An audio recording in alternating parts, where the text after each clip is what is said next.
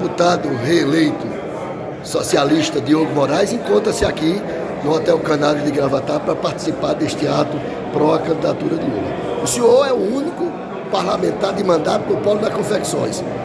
Por que Lula e por que Diogo está aqui?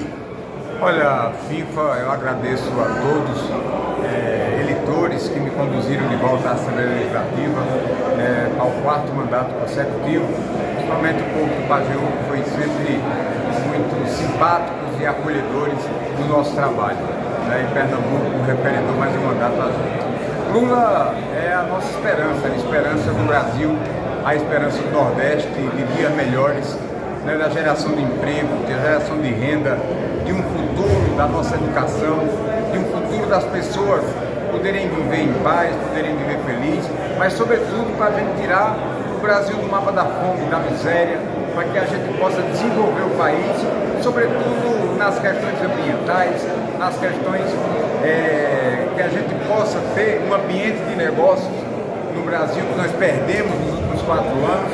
E, na verdade, a gente tem essa esperança, a esperança de Lula voltar a fazer o trabalho que sempre fez, principalmente no nosso Nordeste. O Nordeste que referendou Lula, o Nordeste que teve os maiores investimentos e, logicamente, Pernambuco irá reencontrar Lula e Lula irá reencontrar Pernambuco nesse caminho que a gente espera de muito desenvolvimento, de um país que volte a sorrir e ter esperança de dias melhores.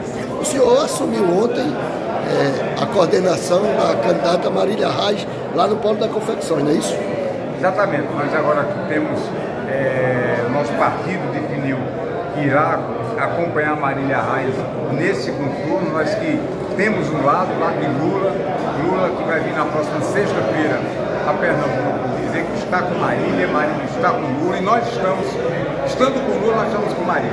O governador Paulo Câmara, aqui nós temos a liderança maior, né, o PSB também declarou é, o funcionamento da Marília e Marília designou um deputado reeleito, designou para que a gente possa, dentro do Polo de Confecções, construir a candidatura de Lula e a candidatura de Marília, a gente poder reunir o maior número de eleitores, o maior número de apoiadores para essa eleição histórica aqui em Pernambuco.